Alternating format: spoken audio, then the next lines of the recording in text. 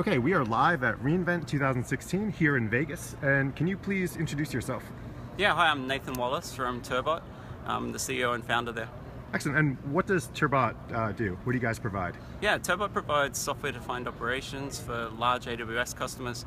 And what we do is really help you with the entire setup of that Amazon environment at scale as you're really trying to do it right. So we'll help manage all those Amazon accounts, all the identity and access across that environment, the network setup across that environment, and then we provide full real-time guardrails so you can have a lot of agility and direct access for your development teams combined with the enterprise controls you need to keep it safe and secure.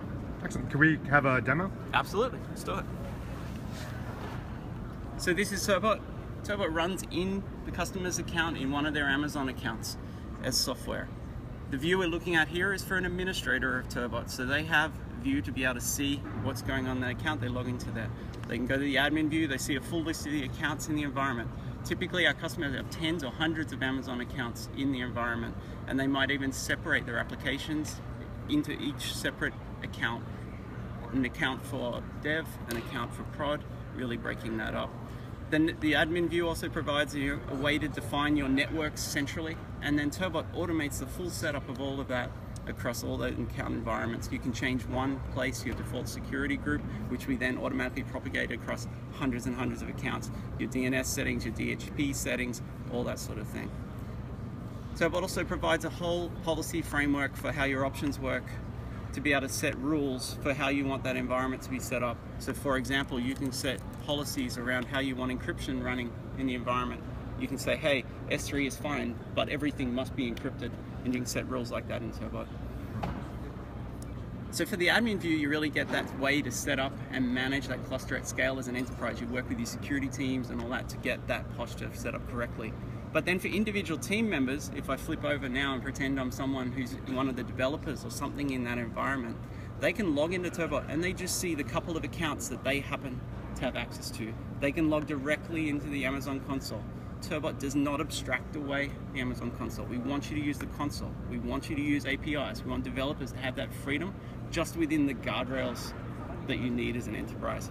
So as a developer, I can come straight in, I can use things like S3 to create buckets and all that sort of stuff. And then Turbot's constantly watching that environment with real-time controls, like cloud, through CloudWatch events and stuff. We've wired all of that up automatically. And we can see what that means. So if I create a bucket in S3 now as my as a developer, I happen to have permission to do that. Just do a demo bucket, put that in a region, create that bucket. So that's created. In the background now, if I go back to the Turbot console, I can see in that account, we just sit here for a second, what we'll see happen is in the background, Turbot's watching all those CloudWatch events, it's catching all of that coming through, and then it's gonna pick up here and show us that it found the bucket and it just applied all the controls to that bucket. So we just automatically detected that bucket, said versioning must be turned on on that bucket, encryption must be enabled on that bucket, all that stuff was just, just happened live in real time. If we go and look at that control, we can see, hey, versioning's enabled for this bucket. We can see all that stuff. And if we look in the history, we can see we detected the event. We then implied the versioning, and then we automatically closed the alarm to say everything was great. If we look in the detail of that, you can see the actual log of all the decisions Turbot made to make that decision to apply that action in this context. You can see the raw event that came in from Cloud Watch events to give us that. And then Turbot automatically builds all the context around that in terms of the option settings for your environment and all the information it needs to actually take that action based on the policy settings for your company. What's fascinating about that, know, is we can go back to the console and actually change that setting. Let's say someone came along and said, oh, well, I'm going to turn off versioning.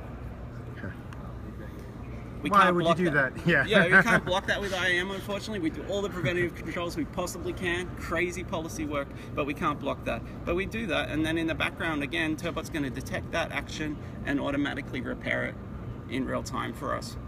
Excellent.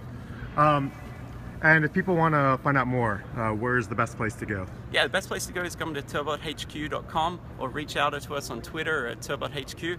We'd love to talk to you, talk to your team about how you're managing those accounts and you know, show you what's possible to really let you ramp this at scale. That's a really elegant way to simply manage uh, large environments. I, uh, I really like it. Nice job. Thanks. Thank you.